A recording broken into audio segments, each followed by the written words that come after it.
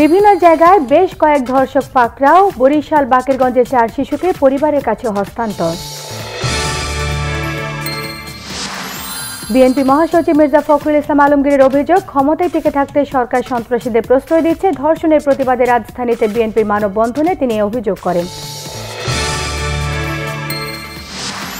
ধর্ষণ মামলায় ডাকসু ভিপি নুরুল হক নূর এবং তার সহযোগীদের গ্রেফতার ও বিচার দাবিতে ঢাকা বিশ্ববিদ্যালয়ের রাজু ভাস্কর্যের সামনে অবস্থান নিয়েছে একদল শিক্ষার্থী।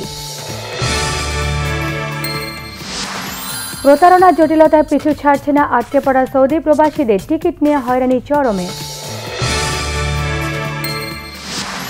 পেঁয়াজ ও চালের সঙ্গে পাল্লা দিয়ে ডিম, শাকসবজির বাজারও চড়া, বেগুনের দাম সেঞ্চুরির ঘরে। বৃষ্টি, বন্যা সহ নানা অজুহাত। রাজধানী নিকুঞ্জে ক্রীড়া সাংবাদিক হুমায়ুন কবির রোজদের ছোট বোন রফিকা রুমার মৃতদেহ উদ্ধার। বাগেরহাটে শরণখোলায় স্ত্রীকে শ্বাসরোধে হত্যার পর লাশ গুমের চেষ্টার অভিযোগে এক পুলিশ সদস্য আটক। খুলনা ট্রিপল মার্ডার মামলার প্রধান দুই আসামি জাকারিয়া এবং তার ভাই মিল্টন গ্রেফতার।